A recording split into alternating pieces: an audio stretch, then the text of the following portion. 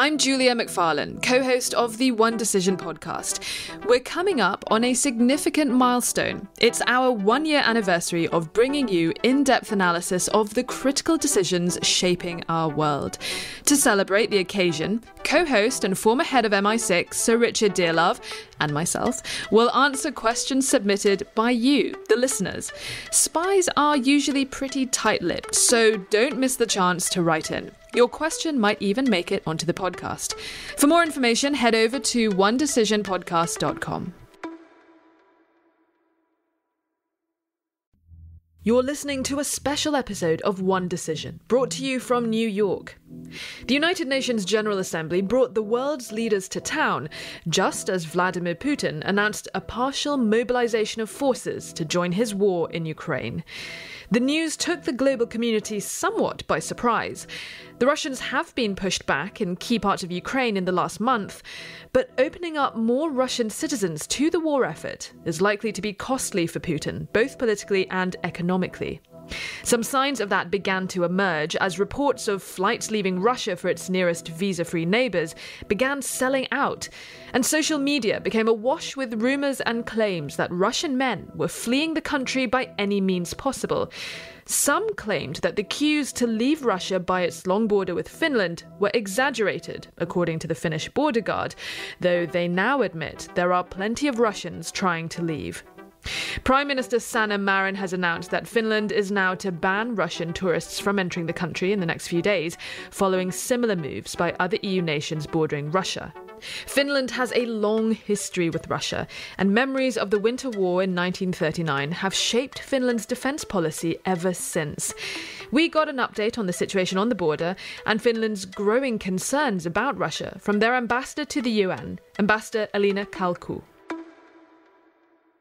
Obviously, you and Russia have a long history. It goes back quite a long time. I found it very, very interesting a few months ago at the NATO conference, speaking to your foreign minister, uh, Minister Haavisto. He explained that you have a long working relationship with Russia as neighbors, and that when Finland made the historic announcement that it would seek accession to NATO, your president phoned up Putin to give him the heads up that that's what Finland was going to do, and that he had quite a pleasant conversation with Vladimir Putin. So, firstly, what is the reaction to Vladimir Putin's announcement that he was announcing a partial mobilization of forces to deploy to Ukraine? Well, we think it's a wrong decision, uh, definitely. Um, there's a, a, danger for escalation. Uh, it is obviously uh, done because he's not doing too well with his war efforts. Um, the Ukrainians have been bravely defending their country and also retaking some of the territory. Uh, so the reason for this um, uh, mobilization must be his uh, plan to do better in the war. He's initiated himself. Uh, we think it's a wrong decision. Um, we think um, the attack was a wrong decision. Uh, we condemn it. Um, it is uh, amazing to see uh, in 2022 that there's actually a, a major country, uh, a developed country with a population which is well educated, which has great prospects for their future, go into a war, attack a neighbor to grab territory and annex territory. So whatever has happened since the beginning of this year is is a disaster, um, and and we do hope that um, that uh, Mr. Putin would uh, understand that this is a wrong path he's following, and uh, and the war would stop, and uh, the sovereignty of Ukraine and the territorial integrity of Ukraine would be would be um, uh, the territories lost would be definitely returned to, to Ukraine. It's admirable how they've been defending themselves. Mm, absolutely, absolutely. Uh, the situation with the border and, and the reports that have been uh, of the situation with the traffic of Russians going into into Finland and crossing the border. Now, there has been some confusion as to what the accuracy of those reports are, but what we do know is that there have been flights leaving Russia, uh, selling out. That there are Russians trying to leave from a number of different entry points. Your Prime Minister Sanna Marin that the situation vis-a-vis uh, Russian uh, travel and tourism into Finland needs to be reassessed after Putin's announcement of the mobilization, and she said that Finland does not want to be a transit country. What can you tell us about the true figures of the numbers of Russians coming into Finland? Is there a lot of people flowing over the border? Are you expecting more Russians to try to leave and enter through Finland? Well, overall, uh, it's it's a long border. We've had um, over ten crossings um, in in the past. Um, there's been over 10, well over 10 million uh, border crossings uh, across that border, and that this was before COVID-19 hit everybody. Um, then COVID-19, of course, cut off the traffic uh, simply because of, of the re- health restrictions, uh, also on, on, on the Russian side. Um, we've had uh, a growing number of uh, crossings uh, since the COVID restrictions were, were cut off. And, um, and uh, part of that is tourism from Russia, mm. tourists coming.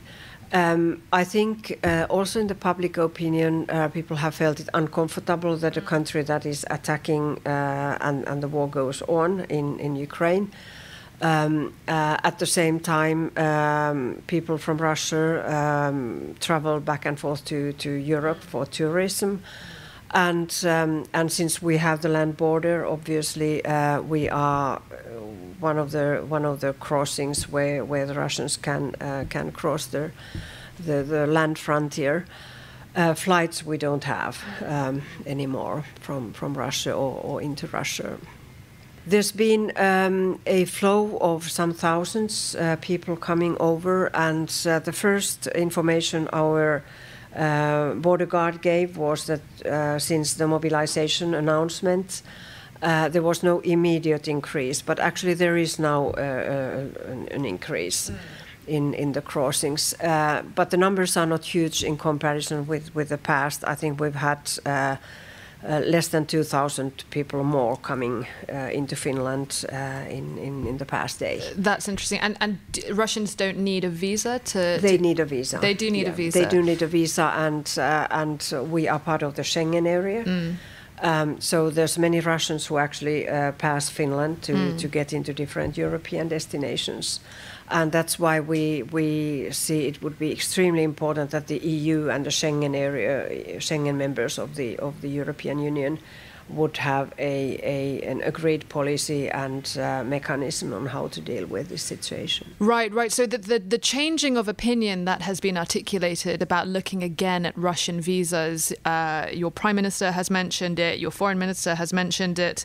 Uh, the reports that Finland is preparing to block Russian tourism. How are you able to unilaterally uh, uh, refuse to grant visas to Russian tourists, or do you need the EU to get involved in that, or can you take steps on your own unilaterally? Well, we already took the step that the, uh, the, uh, no, the, the amount of the, the volume of visas was cut off into 10% mm-hmm. uh, in the beginning of September. So the numbers were cut short uh, when it hmm. comes to tourists. Of course, there's other people who can cross.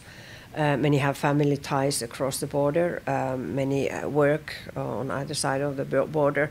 So there's um, a certain number of individuals that will continue crossing the border also. Uh-huh. So we, we're looking at the tourists, which right. can be a huge number of people, of right. course, uh, in, in, in principle.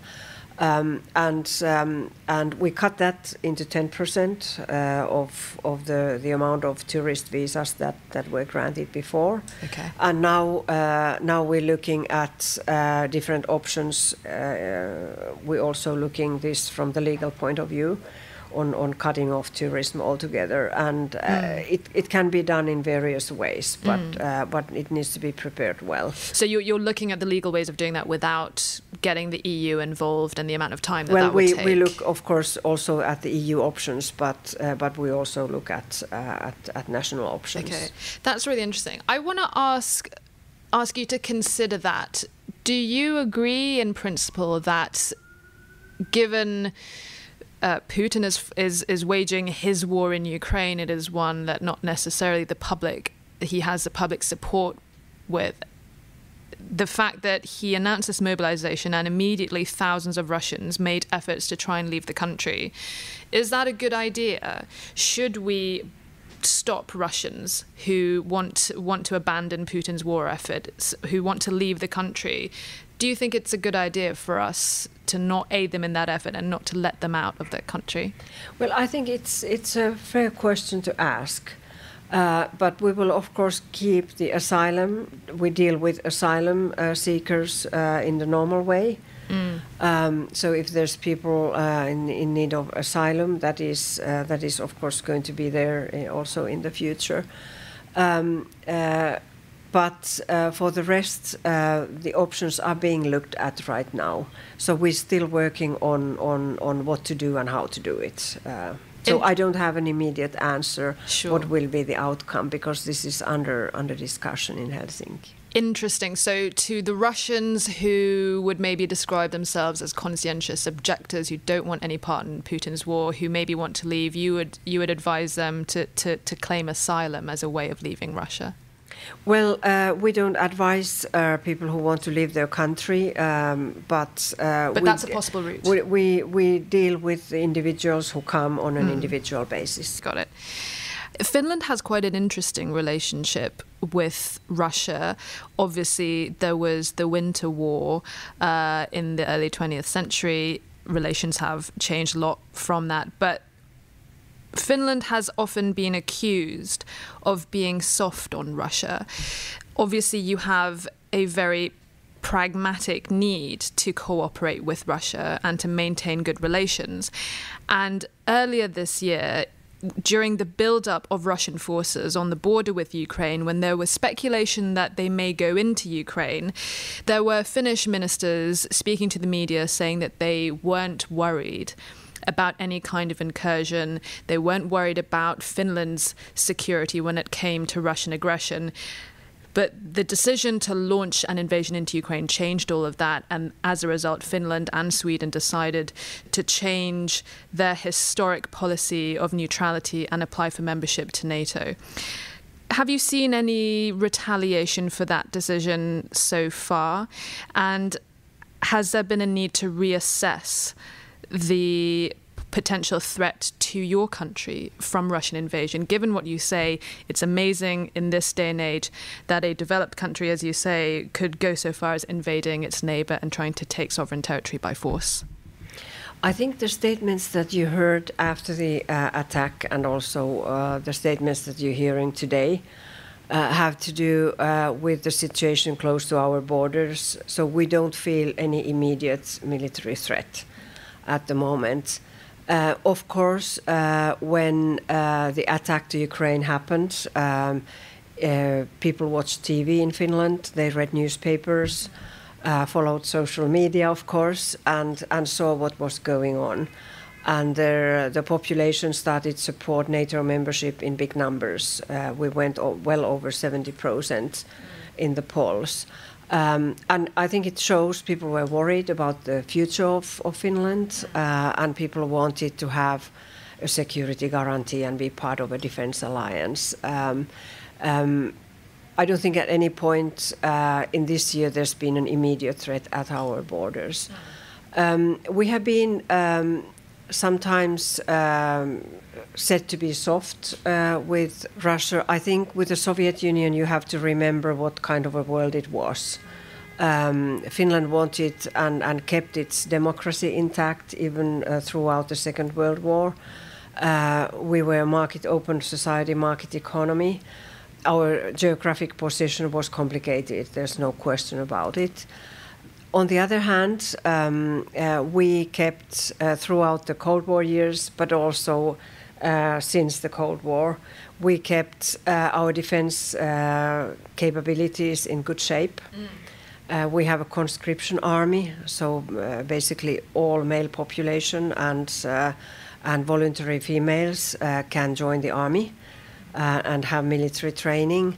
Um, we have kept a large land army. Uh, we have um, we have taken good care of our defense capabilities throughout the years when others didn't consider that important. Um, there's also another aspect in it. Um, we have always been prepared for um, for um, a crisis situation. If you look at the map, Finland is uh, having a long border over 1,300 kilometers border uh, with Russia. Uh, we had that border with the Soviet Union, um, and um, and uh, we are surrounded by sea. So we have also always had to think through how the, uh, the emergency supplies would work if Finland would be cut off from um, from uh, transports to, to Europe.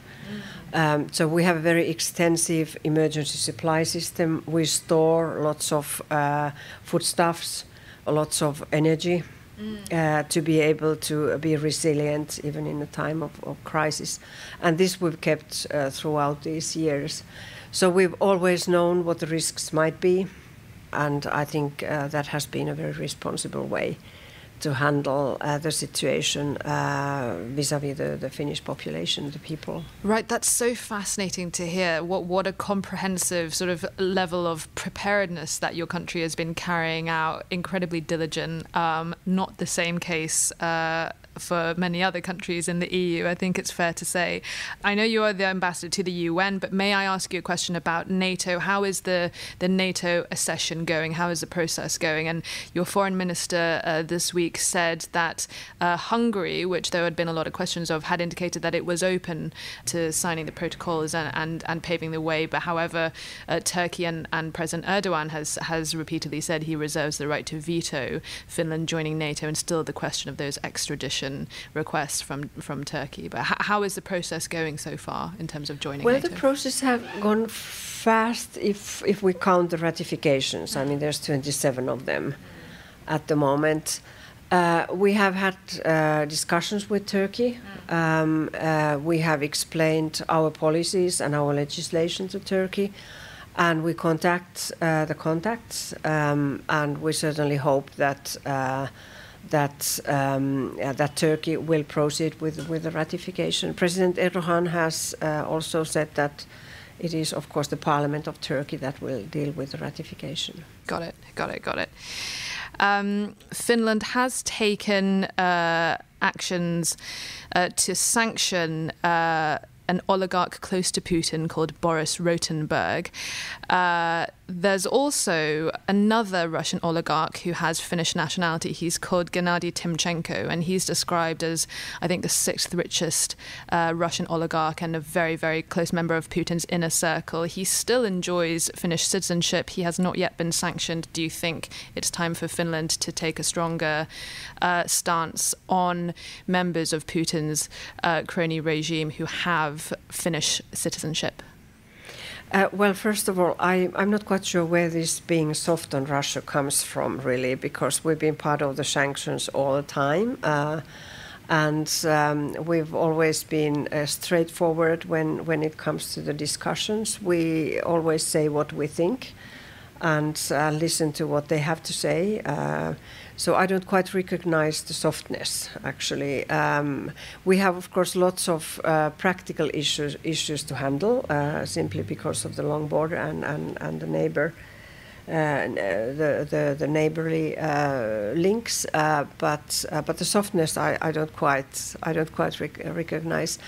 we're not dealing here in New York with um, the sanctioned individuals, so mm. this question you would need to ask from my colleagues in Helsinki. Mm, but personally, do you think maybe Finland should take action against members of Putin's inner circle who have Finnish citizenship? Well, we are uh, we are part of the EU sanctions policy. So within the EU, we also negotiate always uh, on on the sanction lists. So so we're part of that discussion hmm. always. Mm. Very very diplomatic answer. Um, do you think a permanent member of the Security Council should be allowed to keep its position if it continues to flagrantly violate the principles of the UN Charter? Well, we have been uh, thinking about Security Council reform uh, for a very long time, uh, and it has been certainly on the agenda of the UN for a very long time.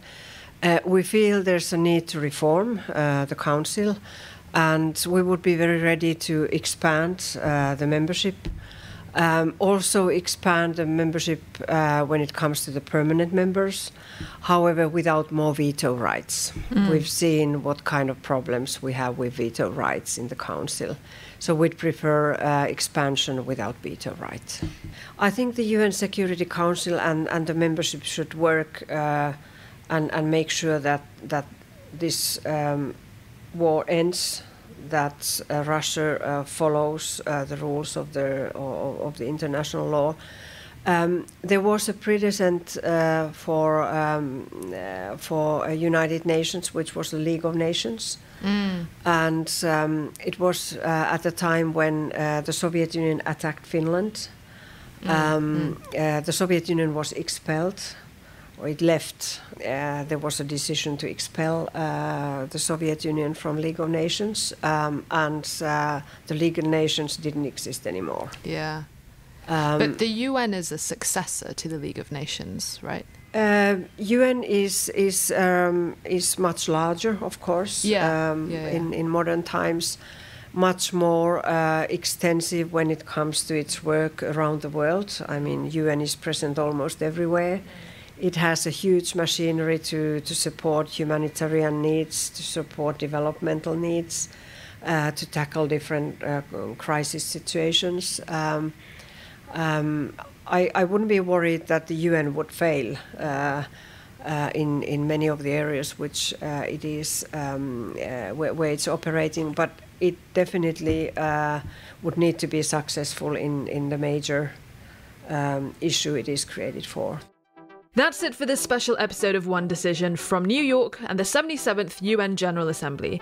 If you're enjoying our podcasts, we would love it if you could spread the word, maybe leave us a positive review. We drop new episodes exploring geopolitics and national security every Thursday, with analysis from my co host, Sir Richard Dearlove, the former chief of MI6.